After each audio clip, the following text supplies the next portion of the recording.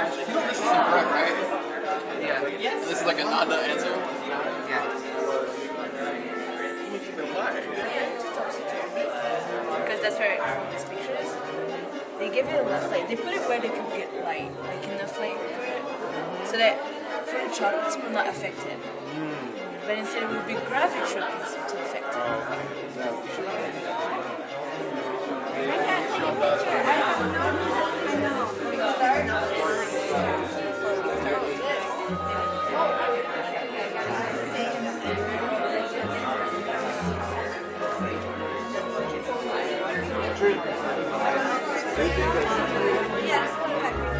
Why is my computer still open? They go crazy. Okay, good, They baby.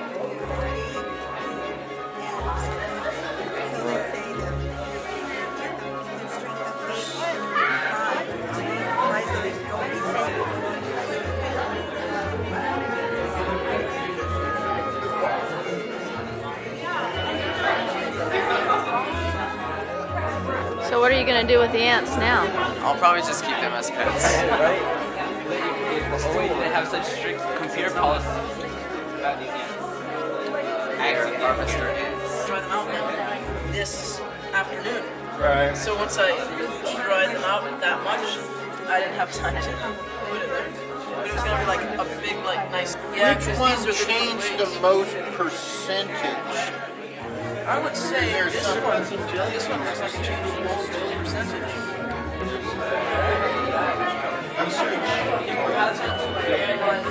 And I love these fabulous pictures. Everyone with the panda blindfolds. It's perfect. Yeah, I messed up with that. As they would need. Yes, so then just because of that one single light bulb isn't even compared to the sun's, that's one reason why I left it on seven. And as I said, the white light and the yellow light did considerably well. The camera is connected to my computer. Wait. So your the, your whole purpose was just just extract DNA. Uh, to see if I could use the same method, What extract method? DNA, with dish soap, alcohol, and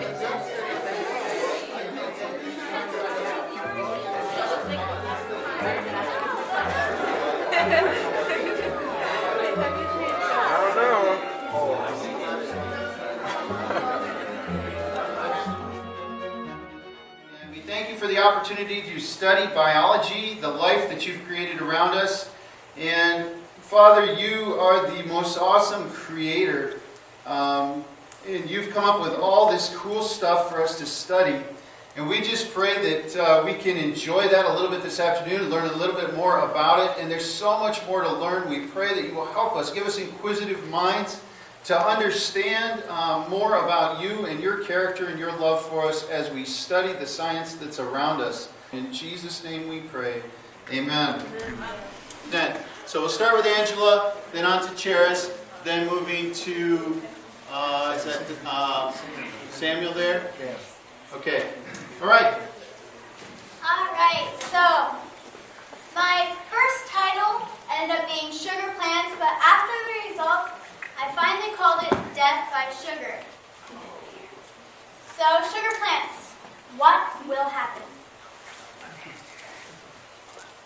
I have, I have to say there are reasons for everything. So, the reason for experiment, plants produce sugar for, for energy to grow.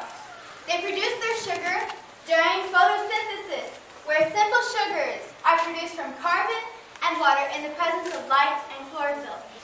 So what I use, these are my materials. Squash and radish seeds.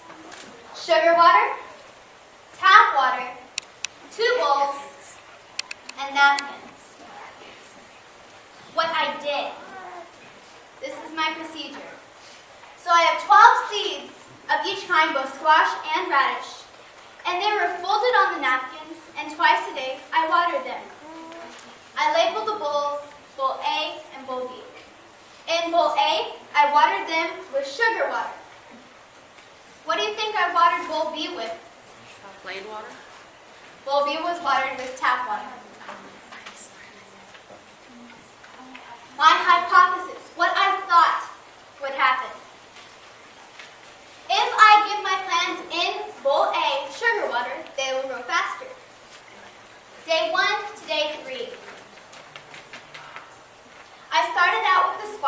until my dad told me that he thought the squash seeds were bad. He brought home radish seeds, and they seemed to work a lot better.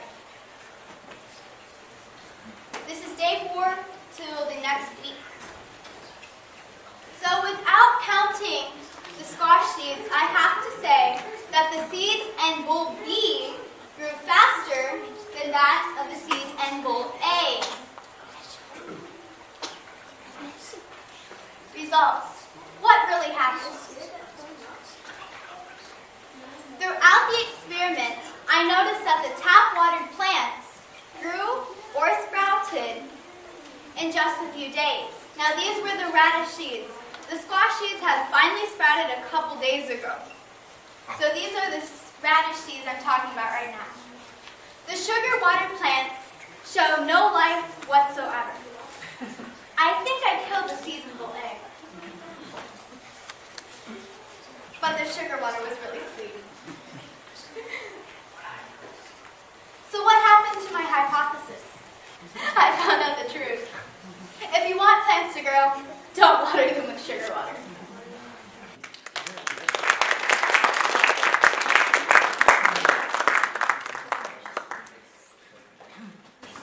So I decided to hatch quail eggs. I was going to do something else, but then Mr. Luke said, you should hatch quail eggs. And so I thought it would be really cool to do that.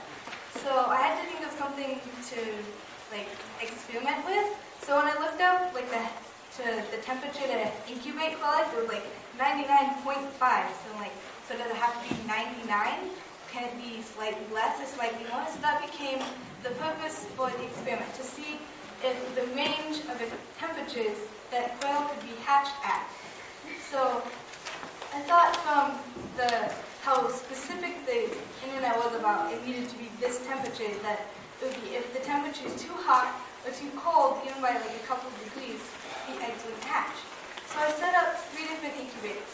One that would be a couple degrees less than the ideal, several, one that would be several degrees higher than the ideal, and one at the exact temperature. And so I let them incubate for the full time. I turned them at the exact same time every morning, every night. I tried to keep the humidities about the same, but that wasn't quite possible. But I tried to keep these things exactly the same as much as I could. And the day that they were supposed to hatch, they did. But the day after, we had one hatch, and the day after that, more hatched. But then we had one hatch from the incubator that was supposed to be too cold. And then the day after, another one hatched in the incubator that was supposed to be too cold. But most of them hatched in the incubator that they were supposed to hatch. So I guess my, my hypothesis is half disproved because it was too hot or too cold. So too hot, they definitely did not hatch, but too cold, they're more tolerant, like they can still hatch. So that is my conclusion that if you're gonna incubate quail eggs and you can't keep it to exactly 99 degrees, just make sure it doesn't go too hot. If you have to go one way or the other, make sure it goes too cold.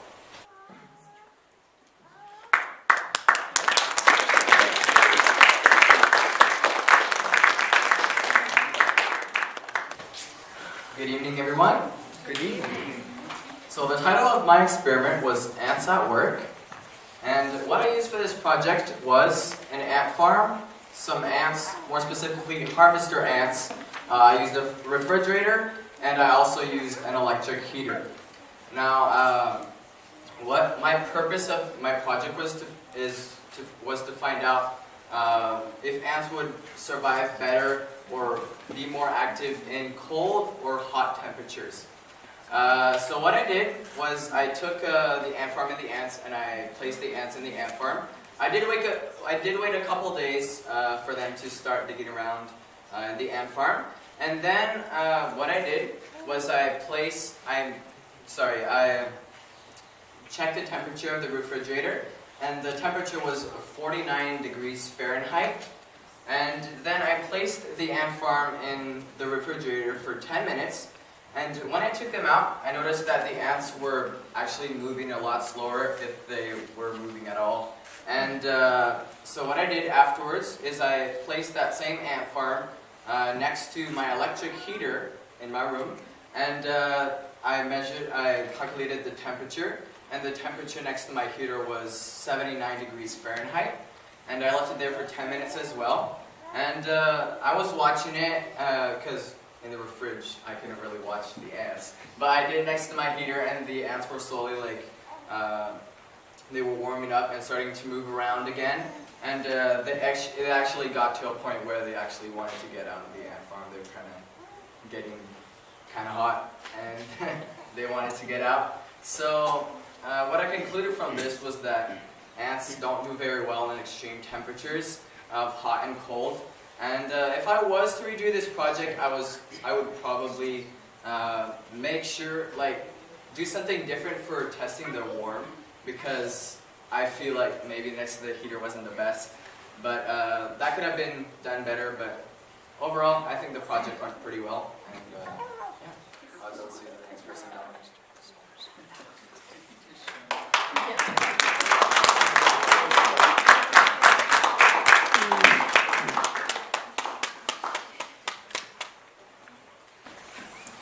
Alrighty. So my experiment involved fish, um, but what I was trying to find out was if different temperatures of water that these fish, the fish I used were goldfish, if the different temperatures of water that they were in affected the way that they breathed. Um, and I used temperature also, um, just kind of like Sam, uh, so I'll just be telling you about that. So the purpose of my uh, experiment was, of course, to determine if water temperature affects the movement of a fish's mouth, like how many times they breathe, and its operculum. Now, its operculum is the tiny gills that are on each side of its head. That's the operculum. Now, my hypothesis was when fish are exposed to colder and colder water, their body movements will slow down, their breathing and their movement of the operculum will slow. So that was my hypothesis. So let's see if it came true. The materials that I used were, of course, goldfish. I used a bowl, fish food, ice cubes, one jar, and thermometers. Now, how did I use these? Well, let me tell you the procedure. So first I put goldfish in the jar with room temperature water, and the temperature was about 64 degrees Fahrenheit. then I observed how the fish, fish breathed in this temperature of water. And I recorded the number of times that it opened its mouth, that they opened their mouth in this um, water, and I did this for one minute. Now, after this, I placed the jar in a bowl of ice, and the purpose of this was to bring the temperature slowly down. And I went, I was observing, like, if the temperature change would affect the way they breathe. And I brought the temperature down all the way to 40 degrees from 64 degrees. And it was interesting because at room temperature, at 64 degrees, the average um, amount that they breathed, the times they opened their mouth was 65 times. But when I changed the water temperature to 40 degrees, it slashed that to 38 times a minute that they opened their mouth. So a very significant difference there. Um, and what I concluded from that was that my hypothesis was actually true, that the colder you make the water, the fish uh, get slower and slower, their body movements and their breathing. And the reason for this is, is because in the winter, when it gets colder, they need to conserve their energy so that they can stay alive, they can keep warm. So my control group was the fish in room temperature water. Um, that was that was my control, 65 degrees, um, excuse me, 64 degrees, and this is the water that I determined that they breathe in the best. My experimental group was the fish in the different temperatures, the 40, 48 degree water, um, and I experimented with that to see what the difference would be. So my results were, before the water temperature was dropped from room temperature to 40 degrees using ice, they opened their mouth 65 times. And at 40 degrees, they opened it 38 times. So by this, I conclude that my hypothesis, which was uh, that when it gets colder, the water gets colder, their movements will slow down. So what could I have done better in this experiment? Um, instead of maybe using 10 fish, which is what I started with, I could have used one fish only because it would eliminate some variables um, such as like size and age of the fish. Um, instead of using more than one, I could use one. Um, also, what I could have done is eliminate another variable, which was instead of using ice, I could have used some other form of a way to bring the temperature down, like refrigeration or putting it in the freezer. So these are things that I would experiment with and do different on my next experiment. Alrighty, so with that I'll call Elise up.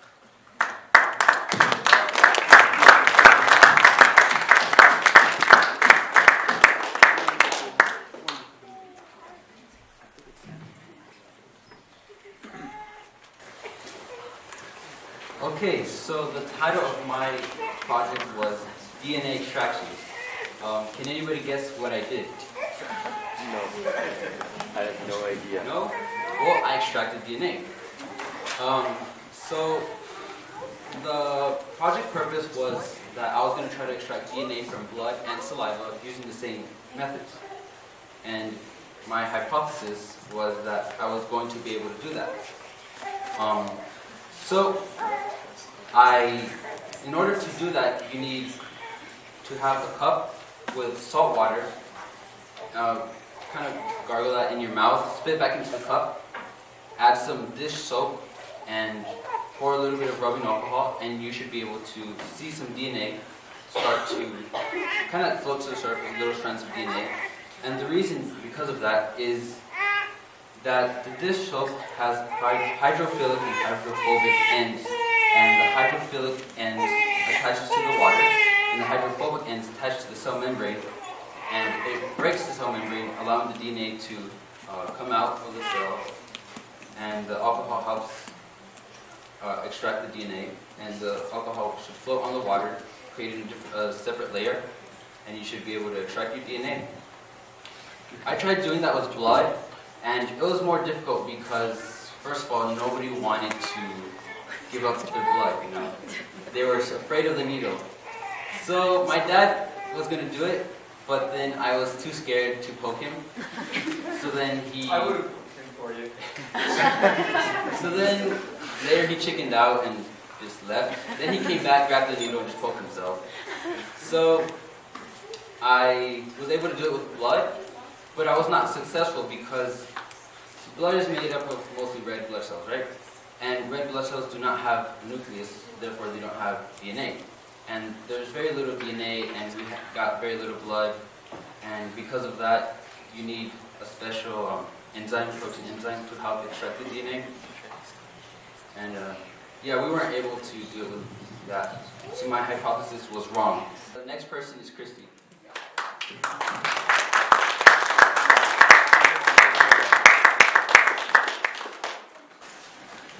So the title of my experiment was called Beings Unseen. So what was the purpose of my experiment? Well, the purpose was like when you get stuffy nose or get sick, uh, and you eat, you uh, tend to not smell the flavor as well as when you are not sick. So the problem that I come up was that without the sense of smell, can a person distinguish between different tastes? And I made the hypothesis that if a person is blindfolded and cannot smell, then they cannot detect uh, flavors as well as when they are only blindfolded. And the variables that I used will uh, flavor, people, and water. And the flavor, because sometimes uh, other people may know the flavor more than you do. They might not be familiar with the other flavors. And then sometimes uh, people can be have a better taste bud than you do. And the water is the amount of water I use between each flavor. And my dependent variable is how people reacted to the each flavor. And my independent variable was the flavor. So uh, I the materials that I used were the jelly beans, a paper, a paper to record, and a cup of water for each person, and also uh, a cup of water. And throughout those, uh, with six volunteers, so first uh, the six volunteers would guess four different flavors of jelly beans. They were all the same, with their only blindfolded. And then one hour later, with the same people, but their nose would be plugged and they would guess the flavors. So the result that I got from this experiment was that two, three flavor were guessed right guessed right in the nose unplugged, and then two flavors were guessed correct in the nose plug. So my hypothesis was proven true. And what I can get from this experiment is that when I conducted the experiment, from the control group, the flavors that they guessed were uh, they guessed it very well, and then the experimental group they guessed it not quite so well. So then the, the taste was affected. So if I were for uh, future research, my experiment, I would do the order of people and also use a smell, a, also use a flavor that they would be the most familiar with. So the next person would be Cameron.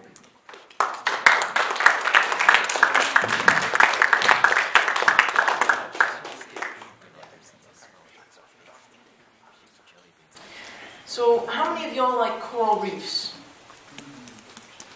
Yeah, yeah, they're, they're beautiful. Like last uh, summer, we went down to Mexico, got our uh, scuba diving license, went down on some dives, and we saw a beautiful coral reef.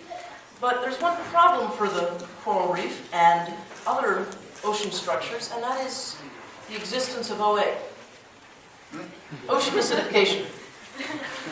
And now, what is ocean acidification? It's, it's basically where uh, carbon dioxide is emitted from you know, cars, cities, and power plants, and it goes into the atmosphere, and then it is absorbed by the ocean. Now, the ocean, its pH is somewhat alkaline. It's around at eight, eight or nine, and um, since they started tracking ocean acidification, it has gone down from an 8.9 all the way down to an 8.1. But even before that, they were talking about something called acid rain. It's pretty much the same thing, just not in the ocean water, rather in rainwater. Uh, the rain water, it had the carbon dioxide, made it more alkaline. The carbon dioxide emit, um, I mean acid, acidic. Uh, it being absorbed into the water brought pH down. And the problem with this is that it rains down and it goes into the ground, and now the calcium in the ground is trying to counteract for that pH difference. So it starts dissolving, dissolves away to try to bring it back up to its alkaline state, and it's taking away the nutrients that the trees and plants need to use to thrive. But the same thing happens in the ocean, except instead of in the ground, it happens on the backs and insides of sea creatures the shells and skeletons, yeah. Um, so this is a big problem because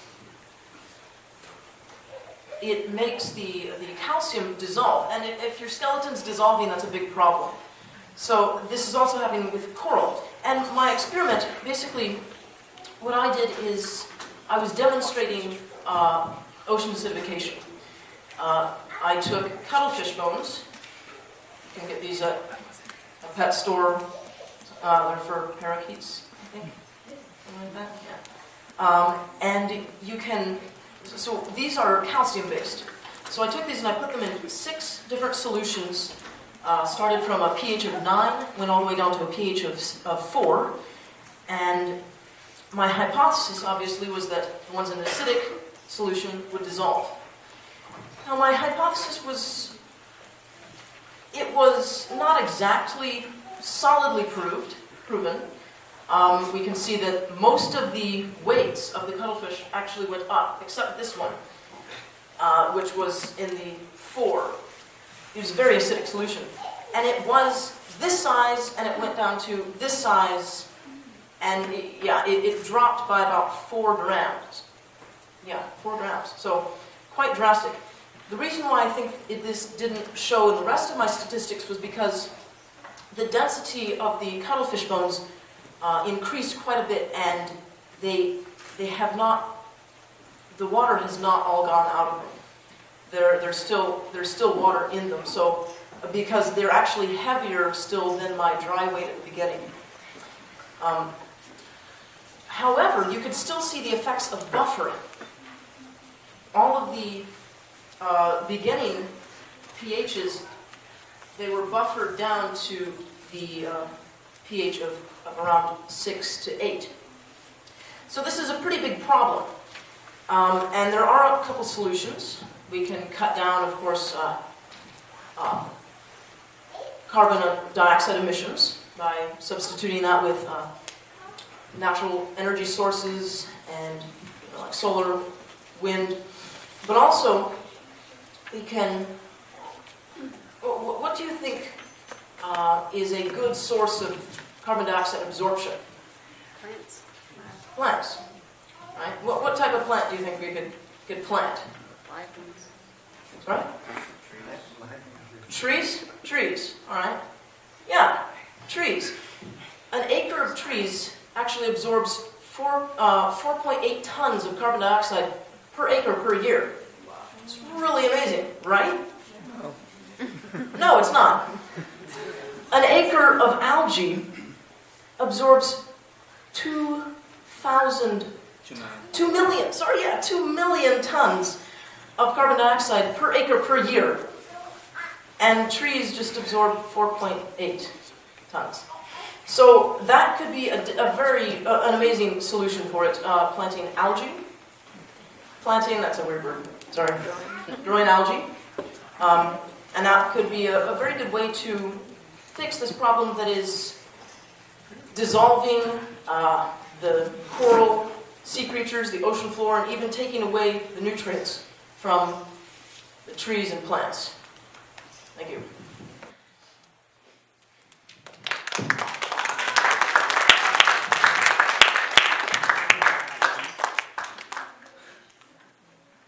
Good afternoon, everyone.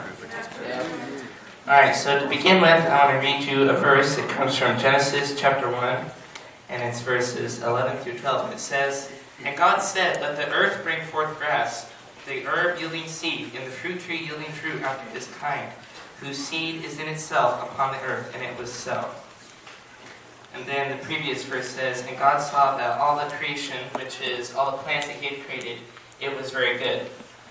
So now my experiment was was about photosynthesis. Now this experiment was kind of it gave me the idea to do this experiment because I work on the farm and I thought it would be an interesting way to figure out if I could figure out how plants would grow under different types of light. If I could get different types of light to make plants grow better because I want plants to grow as fast as they can so I can sell them as fast as I can and you know the whole process. And so, therefore, my experiment was about photosynthesis. Now, my hypothesis was is that the red and blue lights would make the plants grow better than the yellow and the white and the green light that I also had in my experiment. So the first thing that I did was I had to eliminate my variables because you always have variables in an experiment. And so to eliminate some variables, each plant received three quarters of a cup of water daily, and each plant was placed inside a 15 ounce pot. All the plants were under the light 24 7, not 365, they're under the light 24 7. All plants were in the same area, they're in my parents' greenhouse, and each bulb that I used was a 60 watt bulb. Now, the materials that I used for this experiment, I of course had potting soil. I used five different 20 ounce containers, water, ruler. I used seeds. Now, I didn't exactly use seeds, but you can sprout your own seeds. I used pre-grown plants. I had my five different light sources. I had five different colored light bulbs. I had white, yellow, red, blue, and green. And then a warm place, which a greenhouse is a warm place, and no taking supplies. Now, let's see. How to do the experiment. If you want to do it yourself, you basically put your plants inside your containers and then water them daily and be sure to give them exactly the specific amount of water. And I did this, this experiment for two weeks, and these are the results that I got after two weeks. The white and the yellow light did the best, and I'll share the reason with you why they did the best here in just a little bit. the red and the blue light, they did okay. They lived, you know, they carried on their life, but they didn't grow as well. And I also was testing the flavor, how the lettuce tasted.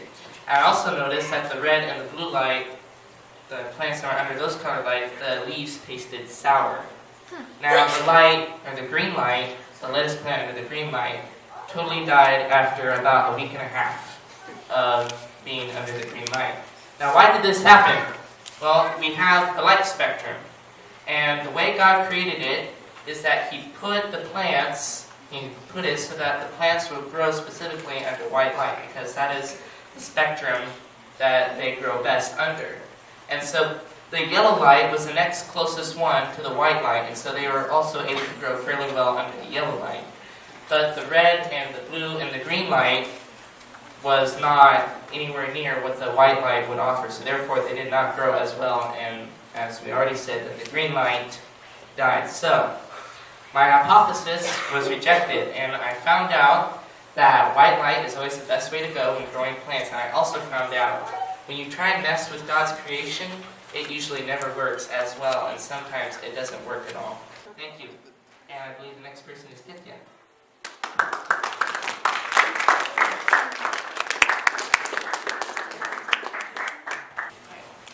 Uh, so hi everyone. So today I'm going to talk about my project, which is against gravity. So it's technically supposed to be called Gravity gravitropism plants, but I think the name against gravity is cool, so I chose to name it. So gravitropism is one type of tropism.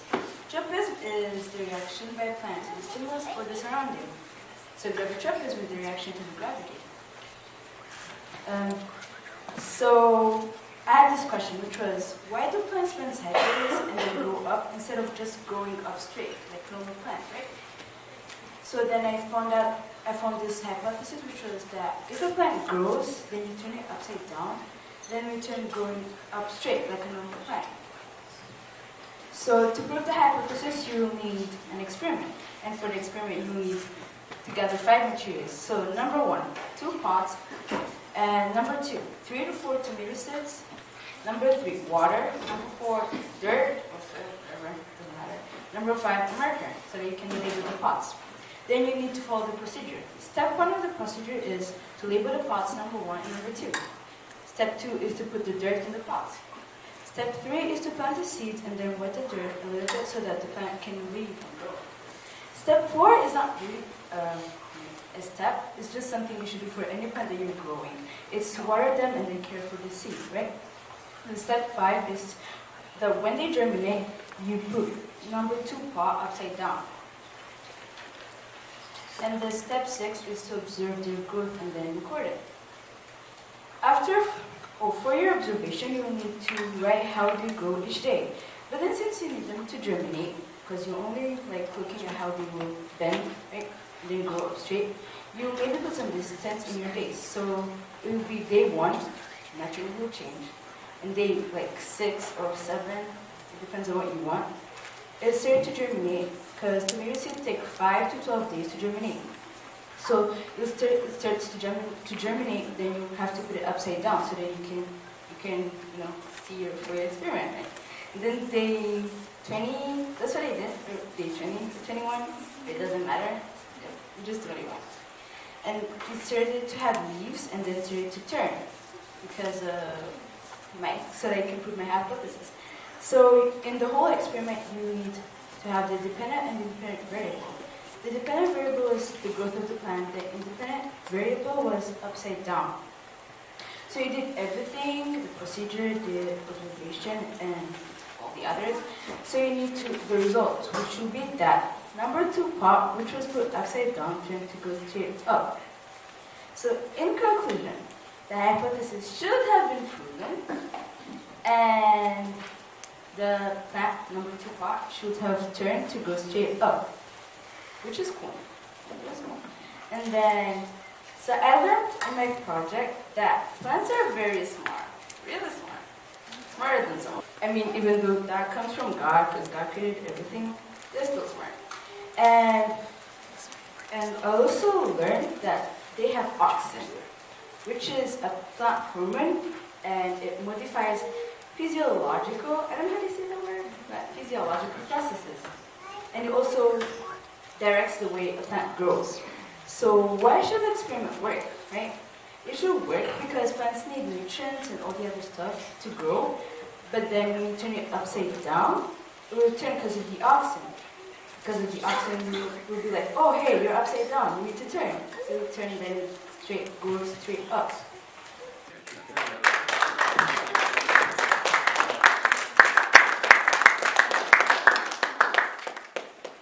My project is called Hungry Fungus. This is a project about yeast. And uh, something that a lot of people don't know that I didn't know for a long time, that I find very interesting about this, is that yeast is not a chemical, it's actually a living organism. It's a microorganism. And so that is what my experiment is based on. Um, so my, my problem or my question was, does yeast require a food source to produce carbon dioxide? And uh, I did a little bit of research beforehand to uh, see if uh, what I should do for uh, about this yeast project. Um, and I noticed there are several ways that I could have gone. I could have experimented with temperature, um, or whether this was in a uh, light area or if it was in a dark environment. But I decided to um, stick with just one variable of whether or not there's sugar in, uh, in the environment. So uh, I came up with the hypothesis that uh, the bottle that has sugar with yeast will inflate the balloon, and the bottle that does not have sugar will not. This should happen because yeast is a living organism that requires food to perform its functions. So, uh, this hypothesis was, uh, is based on the idea that uh, yeast needs sugar in order to go through cellular respiration. So, uh, in my procedure, I uh, took the materials that I needed and uh, I started with measuring out a fourth cup of 100 degree tap water into both of my bottles. Then I measured two teaspoons of yeast into both of those bottles as well. And then to one of those bottles I added two teaspoons of sugar.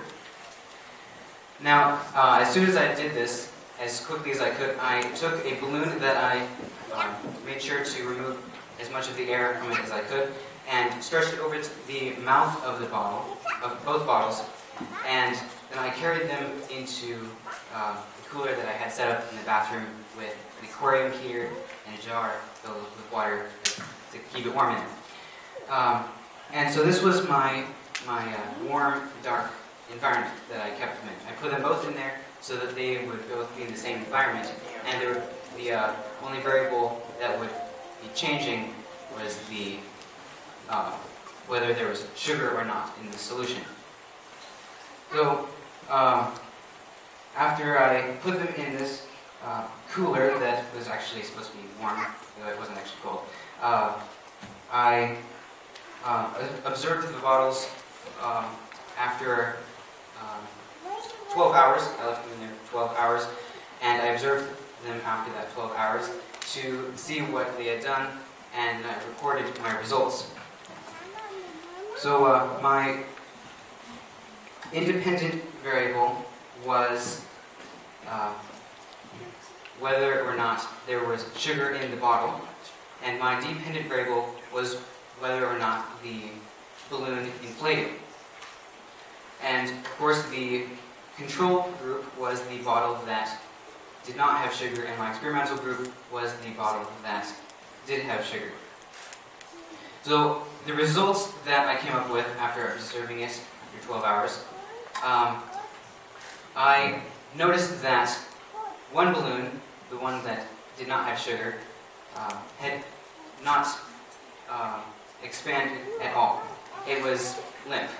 And the other one that did have sugar had expanded, and I measured it, it was four inches tall.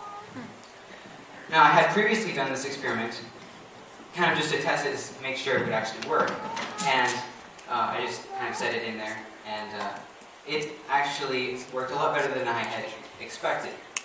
And so I measured it, and it was four inches uh, being in there. Um, and so actually this did prove my hypothesis. My conclusion was that my experiment shows that yeast must have sugar present in order to function properly, proving my hypothesis as only the body, the bottle with sugar ex expanded the balloon. These were the results because of the nature of yeast. Yeast is a fully living microorganism which undergoes cellular respiration. Cellular respiration consists of a cell receiving sugar, and through a process to convert it into usable energy, it, it pro produces waste materials, including carbon dioxide and a little bit of alcohol. It is this carbon dioxide that fills the balloon with gases. So, uh, oh, and also something I forgot to mention was uh, when I was doing this experiment, I wasn't actually able to keep it at the exact temperature that I was wanting. Um, I did some research and was, I should have probably done it closer to 90 degrees, but I kept it um, as hot as I could, which was 82 degrees. Um,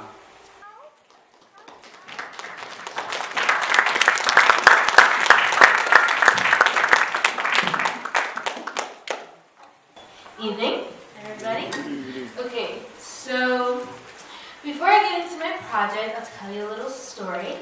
One day I was visiting one of my friends from church, and we were in her garden, and she's like, okay, Julia, it's time to water the plants. And I was like, okay. So I put the plants on the leaves, like plant, like I watered the top of the plant. She said, no, Julia, let's put the water at the bottom of the plant. I was like, that doesn't make sense because the top of the plant are where things are growing. That's where it's supposed to be. But she's like, no, you put the water at the top of the plant, and that's how things grow. And so that is what fueled my uh, whole project is why is it that water, um, you put water at the bottom of the plant and it goes upwards. That doesn't make sense for water to go up, right? Because everything we know comes down, right? That's the whole law of gravity. So my hypothesis is if, um, if a plant is water at the base, then the water will go upwards due to turgor pressure, because it's the only pressure I had learned about. And my pro uh, experiment process, I found this experiment from a source, I don't know what named, um, and um, you put food coloring in water, and that shows how the water is going from the plant, or from the bottom of the plant to the top, right, to the petals, where you can obviously see the change in color. Um, for this experiment, I didn't have an independent variable because I just assumed that if you didn't put food coloring in water, then the color wouldn't change the plant. Does that make sense? yeah. So um, my um, experiment took about two days until the plants started to um, change color. Now the thing I didn't think about, I had used blue and green, but I didn't realize that plants don't really process green well. The whole thing about the chlorophyll and everything. So my green plant turned out to be yellow. Yeah, so that was the only thing that next time I'll watch out for that because I forgot that plants don't like green even though they are green. And so this product work because I learned due to adhesion, and adhesion is the attraction of two molecules, right? So when water evaporates out of the top of the plant, that creates a negative pressure. So the water at the bottom of the plant wants to go upwards towards the top of the plant. And that makes total sense now after I researched it. And Any other questions? No? Perfect.